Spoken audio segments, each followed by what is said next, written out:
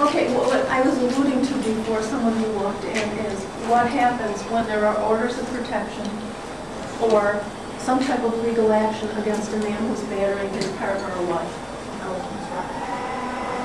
I'm sorry? Typically, what will happen from what we've seen, and again, I'm working primarily with the veteran population, but I believe that they are just a microcosm of the male population in general to most uh, degrees, but I'll talk a little bit about what's different with veterans later. But what will happen is they won't leave marks on their victim, okay?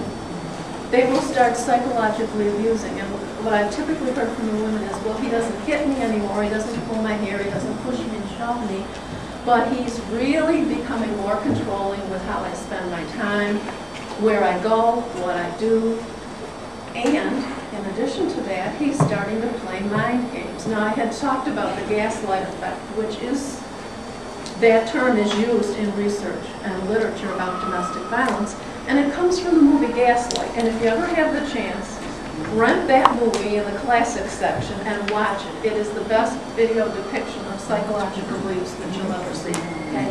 The man who is the perpetrator in the film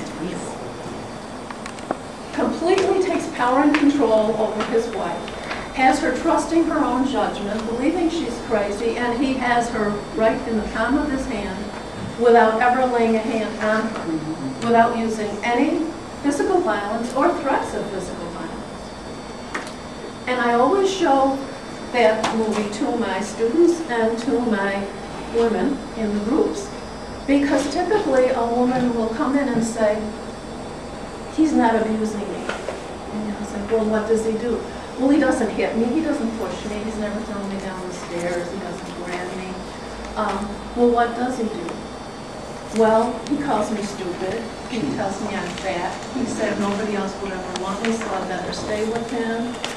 You know, he'll say demeaning things to me, he'll try to confuse me, that's where the gaslight effect comes in, okay? I had a case where a woman, uh, he'd call her on the cell phone and say, oh, I ran out of gas, you have to come and meet me, and he'd give her the wrong directions. So she'd get to where he told her to come and he wasn't there. So she'd call him again and he'd say, oh, that's not where I told you to come, I told you to go someplace else. So by the time she really got to where he was, he was there with two other men making a joke out of her display of emotion, and he, he would say, look at this, you know, this hysterical, crazy woman I have to live with. Why was she hysterical? Because he was trying to drive her crazy. He was giving her the wrong directions, making her think that he was in crisis so that she would respond. These are the kinds of things perpetrators do, okay?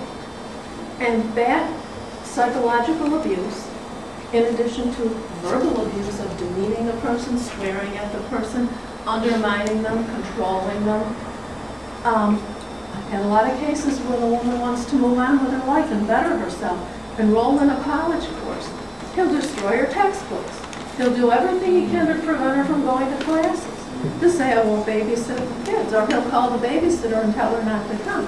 Then he'll call her in class and say, the babysitter's gone, you better come home. So anything that the perpetrator can do to take power and control over the victim and keep her down. That's what it's all about. Psychological abuse is just as devastating as physical abuse.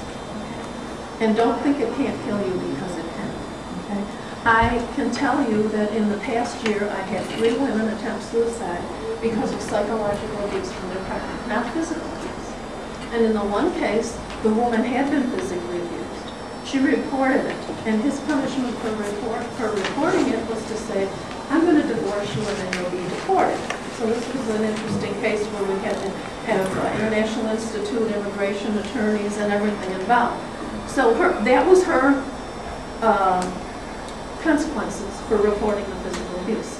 So she stayed with him because he said he changed, but he started psychological abuse. And she wasn't driven to the point of suicide by the physical abuse, she was driven to the point of suicide by the psychological abuse.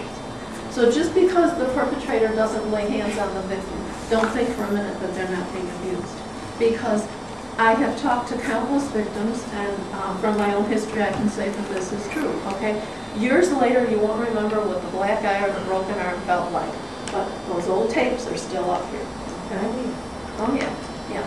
So on a day when you're not feeling good, or you had a bad day at work, or you're just really tired, you know, when you're vulnerable, that's why it's real important to take care of yourself, those old tapes will start playing, you know?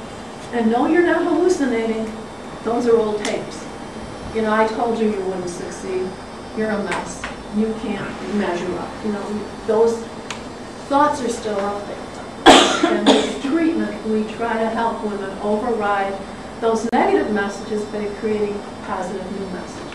Now, I know nobody uses tape recorders anymore, so I'm dating myself. Okay.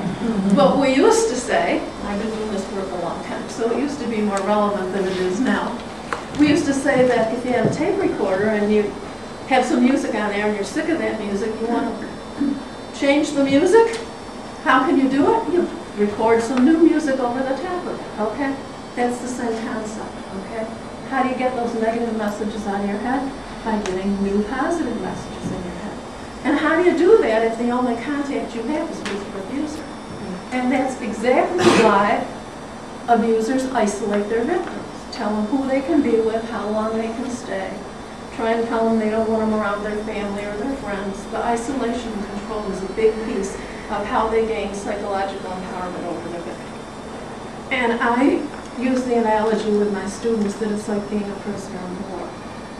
I heard a wonderful psychologist some years ago, and she was a survivor of the Auschwitz death camps. She was the only member of her family to survive.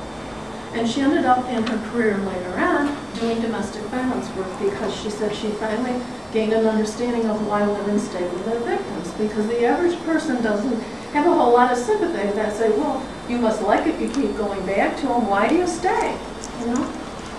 Just leave. It's not that simple. So think about what happens with POWs. What do they do? Um, they isolate them, okay? They may starve them, they may torture them, okay? Keep them in dark, dank places so that they're more vulnerable to illness, okay? And they hammer misinformation at them, okay? And after a while, because of the lack of stimulus and all the negative stimulus that is provided, they break down and this information that you're being fed starts becoming your reality. So that's what has, and I have talked to numerous prisoners of war and they say, yeah, that's exactly what happens, you know. You lose your ability to fight back over time. Yeah. Your self-esteem, your logical thinking, your physical and mental health become eroded by the environment of the abuse, and eventually you start believing what they're telling you. Okay? What also happens is, I think about, you know, the concept of evolution. Species survive by adjusting to their environment, right? That's what battered women do too, okay? How do you survive? You adjust to your environment. You learn what to do to try not to piss them off, okay? You learn that when he gets this certain look in his eye, that's when you grab the kids and go to the neighbors. So women are very adept at knowing how to live within the abusive situation. They're just not quite as adept at knowing how to get away from it, okay? Because they haven't had that experience. And it's not that easy sometimes to seek services. And sometimes I work with countless people that they say the system fails them. If we don't help them make those connections, and they feel that the system fails them, they're going to go right back to the situation. I can give you a story from my history. Okay. 1979, I was in Haven. Okay. It was a safe place, okay, but it didn't feel safe to me because it was strange, and I didn't have my stuff around. And you know what I missed? This is silly, but it's true. I missed my kitchen. I missed my kitchen. I didn't miss him, but I missed my kitchen, okay? And uh, women will understand what I'm saying. You know, you're in an unfamiliar environment. And yes, there are people there to talk to, but you're not sure they really understand. And I'd lay in bed at night and I had this feeling like my throat was closing up.